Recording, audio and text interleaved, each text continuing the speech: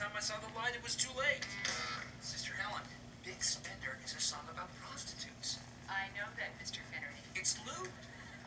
You're right. Is there anything else? Yeah, yeah, yeah, yeah, yeah. Pull it from the show. Do what you wanted to do in the first place. You have my blessing. Oh, I'm afraid it's too late, Mr. Finnerty. The, the programs have already been printed. But the programs. Who gives a rat's ass? Anybody. No one reads the I programs. think we're finished. Oh, oh, wait, whoa, whoa, whoa, whoa, whoa, whoa. I think that we could maybe uh, make some kind of arrangement here. And what would that be? Well, to show my appreciation for your taking a moment to hear my concerns, perhaps I should buy some more of that tasty chocolate, huh? Oh, I think that would be very nice. Uh, how many boxes should I get? Shall we say um, 20? Fine.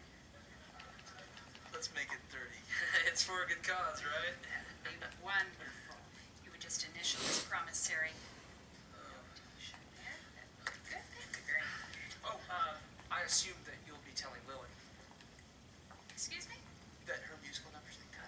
Oh, I- I'm sorry, Mr. Finnerty, but the programs have already been printed. I think I was quite clear about that. What? Uh, Sister Camille, would you please help Mr. Finnerty with a card for his chocolate? Thank you. Oh shit, we got a we got a we got a sham. Oh, we got a sham and it's 88. Boo! Ah, damn it. Damn it. Damn it. Damn it. but at least we got the sham, right? At least we got the sham. So that one's in the books. Damn it though. It's let's see, let's do math. What is that? Six percent, 88, 90, 90, yeah, six percent short. So that's that's not good at all. 88's good, but it's not good enough. Oh, what the hell do I have this for? Piss off, wanker. So there's the sham. Bam. And you can keep it, bunker.